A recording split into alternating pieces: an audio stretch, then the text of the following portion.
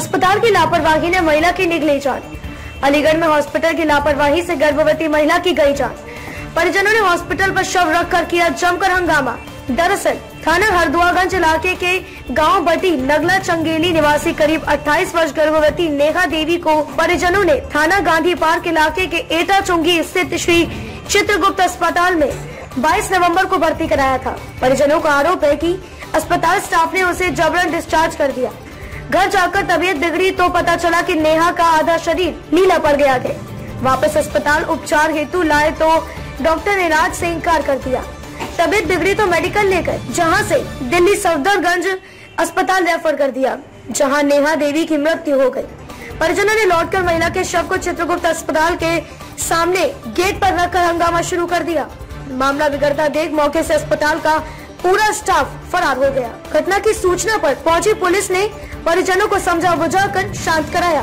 फ़िलहाल परिजनों की तरफ़ से आई तहरीर के आधार पर पुलिस और प्रशासन जाँच में जुटी हुई है। बताया जा रहा है कि अस्पताल स्टाफ द्वारा चढ़ाया गया ब्लड महिला को इन्फेक्शन कर गया था। क्या नाम है तुम्हारा? यतेंद्र सिंह।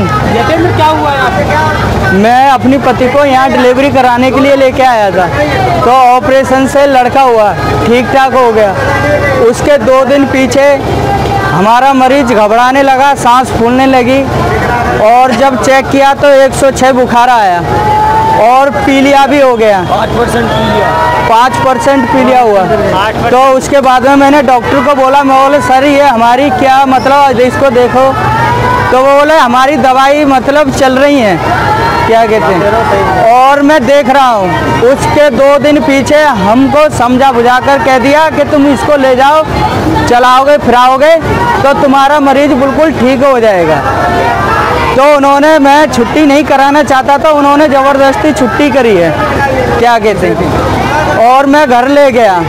घर दूसरे रात को रात को मेरी बीवी ने बोला कि मेरे को पेशाब लग रहा है तो मैं पेशाब कराने के लिए ले गया। तो मेरी नज़र उनकी पैरों पे पड़ी तो पैर काले पड़ चुके थे।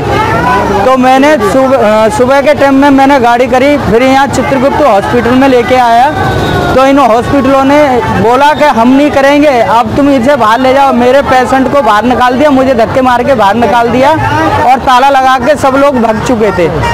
फिर मैं मजबूरी में होकर के मैं मेडिकल ले गया। जब मेडिकल में जगह नहीं मिली तो मैं फिर दिल्ली ले गया। सफदरजंग हॉस्पिटल खत्म हो सफदरजंग हॉस्पिटल में खत्म हुई। दवा कहाँ की रिएक्शन कर दी अब दवा यहाँ की रिएक्शन के चित्रगुप्त हॉस्पिटल चित्रगुप्त हॉस्पिटल कहाँ पर है? एटा चुंगी के पास। क्या चाहते हैं मैं इंसाफ चाहता हूँ। उसके साथ कार्रवाई चाहते हैं? और कार्रवाई चाहता हूँ मैं।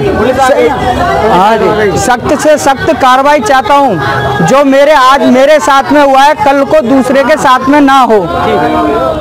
विधायक जी आप यहाँ आए हॉस्पिटल पे किस तरह का मामला मिला? मेरे क्षेत्र के छदा विधानसभा में चगेरी गाँव में धरीपुर ब्लॉक में। ये चार दिन पहले मुझे मालूम हुई थी कि यहाँ पर महिला का ऑपरेशन इलाज कराया है। यहाँ से इनकी छुट्टी कर दी गई। उसमें इनका कहना है कि इसमें घोर लापरवाही की है और जो भी ऑपरेशन हुआ है इलाज हुआ है वो तरह एकदम अनाथराज हुआ है। वहाँ से जैसे हम लेके आए तो लेडीज़ पीली और नीली पड़ गई पीछे। जो मतलब नीली का मतलब है कि जैसे सेप्टिक बन गई हो। यहाँ पर कोई ध्यान नहीं दिया मेरे को इनके साथ में लापरवाही की बदतमीजी की ये मेडिकल लेके पहुँचे यहाँ से। मेडिकल ने दिल्ली के लिए रेफर कर दिया। फिर ये दिल्ली पहुँचे दिल्ली पहुँचा करके तीसरे दिन ये महिला खत्म हो गई।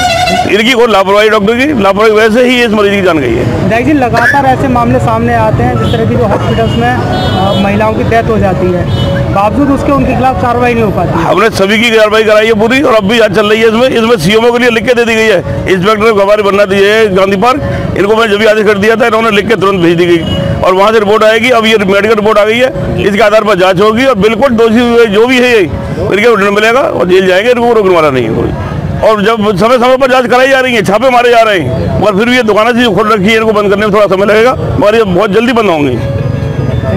और इनको पूरा सहयोग मिलेगा, हर तरह से पूरे तनमन से इनके साथ पूरी बंजारी समाज के बहुत अच्छे व्यक्ति हैं, बेचारे हमारे सीधे, और सब लोग बाहर रहते जाते रहिए चगेरी के रहने वाले हैं।